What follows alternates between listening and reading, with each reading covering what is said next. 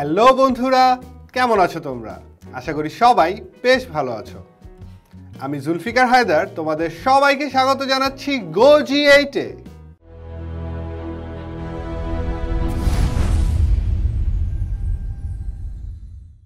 বন্ধুরা,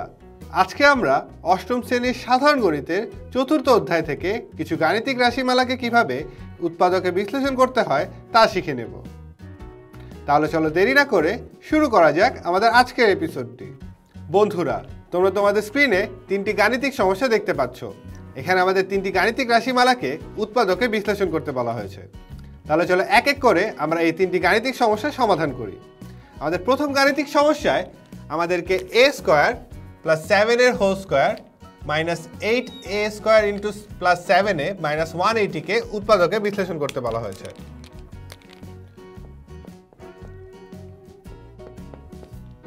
তাহলে আমরা যদি প্রথম অঙ্কের ক্ষেত্রে আমরা যদি ধরে নেই যে আমাদের a square plus seven a সমান হচ্ছে আমাদের এক্স তাহলে আমাদের প্রদত্ত রাশিটি দাঁড়াচ্ছে?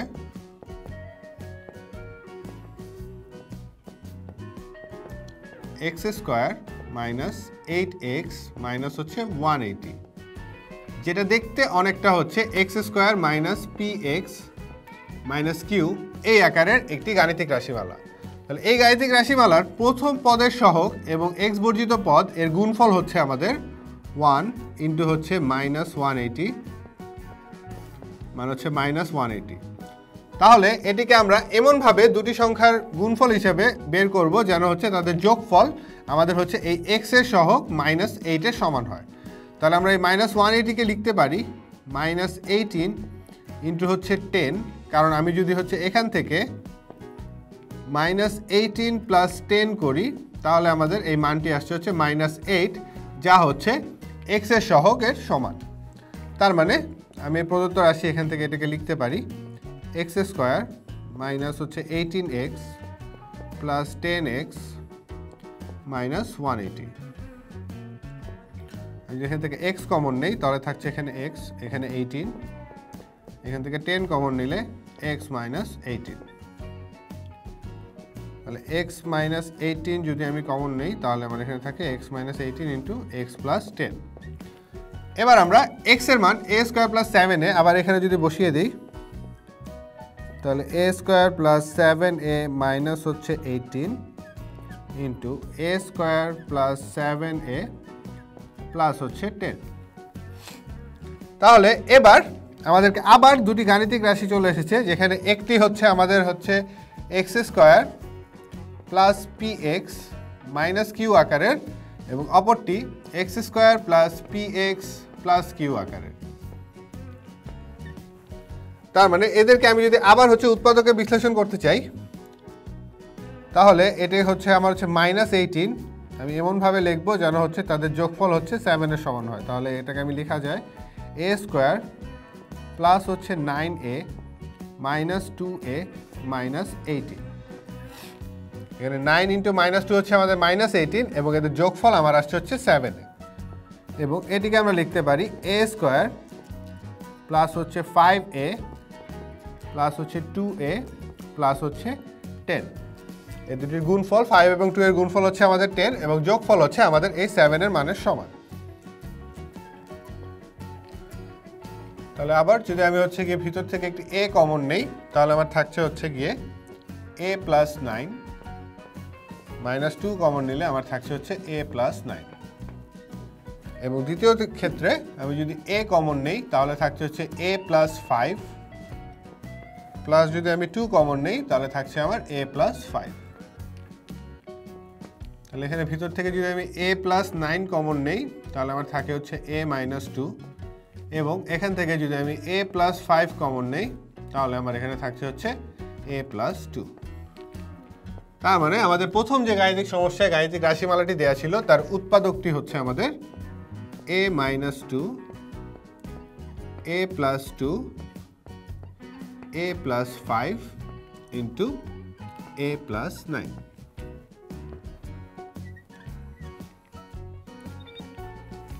আশা করি বন্ধুরা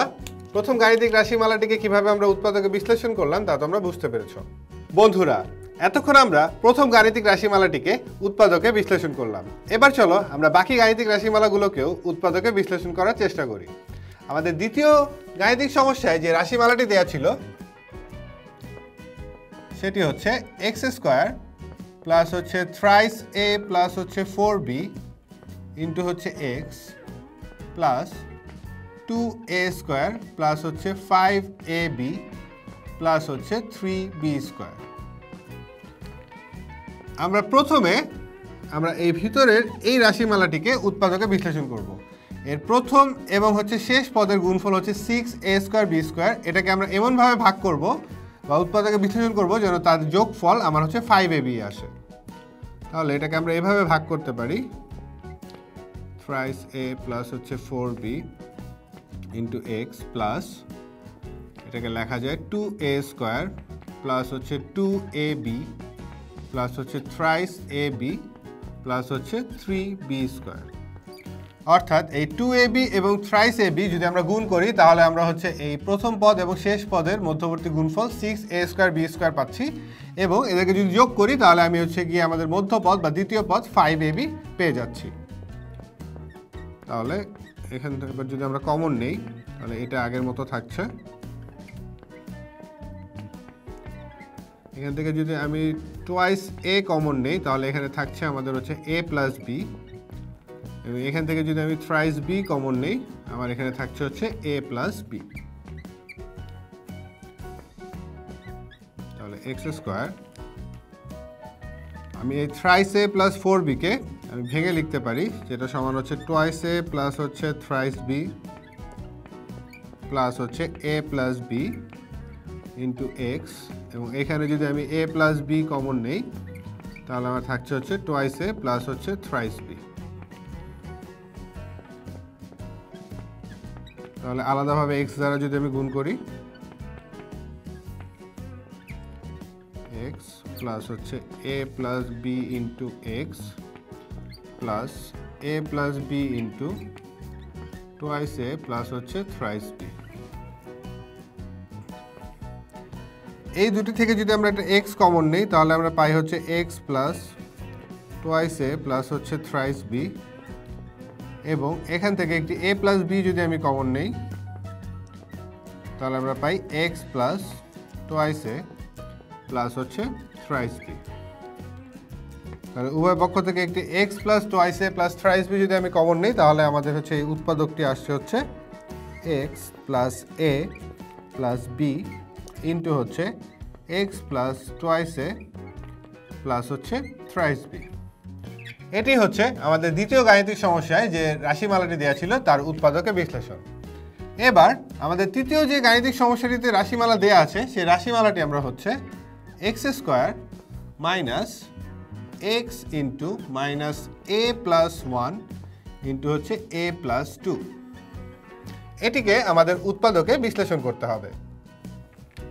তাহলে x square minus x minus হচ্ছে এ প্লাস ওয়ান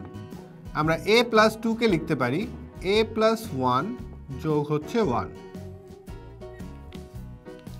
এবার যদি আমরা ধরে নেই, যে ধরি আমাদের এই এ প্লাস ওয়ানের মান হচ্ছে এম তাহলে এই রাশিমালাটি পরিবর্তিত হয়ে দাঁড়ায় আমাদের x square minus x minus m into m plus হচ্ছে ওয়ান তাহলে এক্স স্কোয়ার মাইনাস এক্স এটা আসবে হচ্ছে মাইনাস এম স্কোয়ার মাইনাস হচ্ছে এম তাহলে বর্গ রাশিগুলো একত্রিত রাখি আমি x square minus m square এবং হচ্ছে মাইনাস যদি কমন নিই, আমি মাইনাস এক্স এবং মাইনাস এম থেকে, তাহলে আমি পাই হচ্ছে এক্স প্লাস এম এইটা a square minus b square সূত্রে যায়, তাহলে হচ্ছে x plus m x minus m minus এটা one into x plus m উভয় পক্ষ থেকে যদি আমি এক্স প্লাস এম কমন নেই, তাহলে আমরা পাই হচ্ছে এক্স মাইনাস এম মাইনাস হচ্ছে ওয়ান এবার আমরা এই এম এর মান আমরা এখানে বসিয়ে দিই। যদি বসাই, তাহলে আমাদের উৎপাদকটি আসছে এক্স প্লাস হচ্ছে এ প্লাস হচ্ছে ওয়ান ইন্টু হচ্ছে x minus a plus one minus হচ্ছে ওয়ান তাহলে এটা x plus a plus one এবং এটা x minus a minus one minus one তার মানে আমাদের তৃতীয় গাণিতিক সমস্যাটির যে রাশিমালাটি দেওয়া ছিল, তার উৎপাদকের বিশ্লেষণ আমরা পাচ্ছি x plus a plus one into x minus a minus two আশা করি আমরা বাকি গাণিতিক সমস্যায় যে গাণিতিক রাশিমালাগুলো দেওয়া আছে, তাকে কীভাবে উৎপাদকে বিশ্লেষণ করলাম তা তোমরা বুঝতে পেরেছ। বন্ধুরা, তোমরা তোমাদের স্ক্রিনে আরেকটি গাণিতিক সমস্যা দেখতে পাচ্ছ। এখানে আমাদেরকে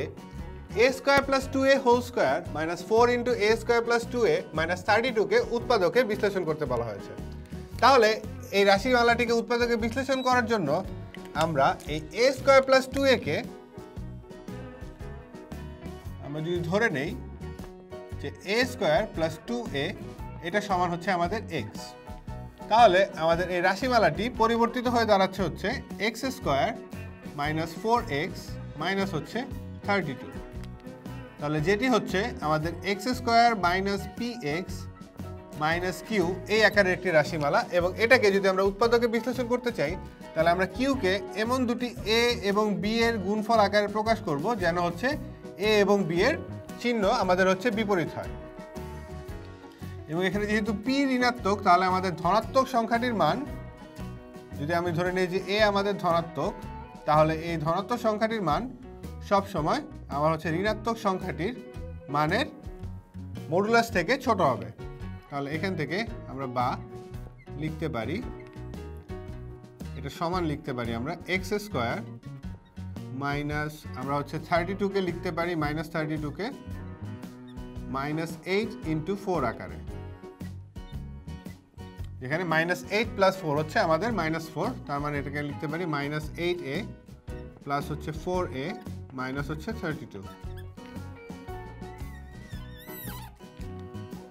তাহলে এটা সমান সমান হচ্ছে আমাদের এক্স যদি আমি কমন নেই, তাহলে x minus eight plus four common নিলে এক্স হবে, আমরা ভুলে এ দিয়ে দিয়েছি। এক্স মাইনাস এইট তাহলে উভয় পক্ষ থেকে যদি আমি একটি এক্স মাইনাস এইট কমন নেই, তাহলে আমার এটা থাকছে হচ্ছে x minus eight plus into x plus four এবার আমরা হচ্ছে এই এক্সের মান a square plus two a আবার এখানে বসিয়ে দিই। বসিয়ে দিলে আমরা পাচ্ছি হচ্ছে x square a square plus হচ্ছে টোয়াইস এ মাইনাস হচ্ছে এইট এবং a square plus twice plus হচ্ছে ফোর এবার আমরা দেখি যে আমাদের এই গাণিতিক রাশিমালাগুলো অর্থাৎ আমাদের a square plus two a minus eight এবং a square plus two a plus four এদের কোনো একটিও আমাদের হচ্ছে উৎপাদকে বিশ্লেষণ করা যায় কিনা। আমরা যদি প্রথম গাণিতিক রাশিমালাটির দিকে লক্ষ্য করি, তাহলে এখানে হচ্ছে গিয়ে প্রথম পদের সহগ এবং এক্স বর্জিত পদের গুণফলের মান হচ্ছে মাইনাস এইট তাহলে আমাদেরকে যদি হচ্ছে গিয়ে মাইনাস এইটকে আমরা কীভাবে ভেঙে লিখতে পারি, আমরা মাইনাস এইটকে লিখতে পারি হচ্ছে গিয়ে মাইনাস এইট ইন্টু ওয়ান আকারে বা মাইনাস ফোর ইন্টু টু আকারে। আমরা যেভাবেই লিখি না কেন, অথবা আমরা এটাকে লিখতে পারি ফোর ইন্টু মাইনাস টু আকারে। তাহলে আমরা আবার এখান থেকে দেখতে পাচ্ছি, আমি যদি ফোর এবং মাইনাস টুকে যোগ করি, তাহলে আমরা হচ্ছে গিয়ে এই দ্বিতীয় যে পদটি আছে, তার সহগের মানে সমান পাই, তার মানে আমরা এই প্রথমটিকে আবারও উৎপাদকে বিশ্লেষণ করতে পারি। তাহলে এখান থেকে এটি আসবে, আমরা লিখতে পারব এটা এ স্কোয়ার প্লাস হচ্ছে আমাদের ফোর এ মাইনাস হচ্ছে টু এ মাইনাস এইট এবং দ্বিতীয় পদটির ক্ষেত্রে যদি আসি, তাহলে আমাদের হচ্ছে গিয়ে প্রথম পদের সহগ এবং এক্স বর্জিত পদের গুণফল হচ্ছে গিয়ে আমাদের ফোর আমরা ফোরকে লিখতে পারি হচ্ছে গিয়ে টু ইন্টু টু অথবা ফোর ইন্টু ওয়ান আকারে।